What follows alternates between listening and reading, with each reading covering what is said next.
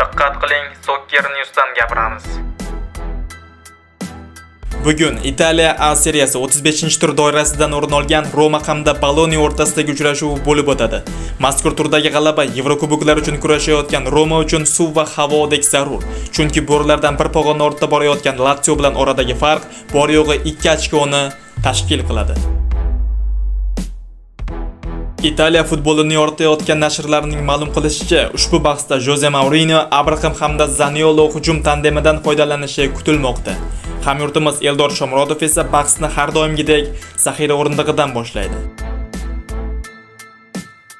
Ma'lumot uchun Roma Baloni o'rtasidagi uchrashuv bugun Toshkent vaqti bilan soat 23:45 da Rim shahridagi Olimpico stadionida start oladi.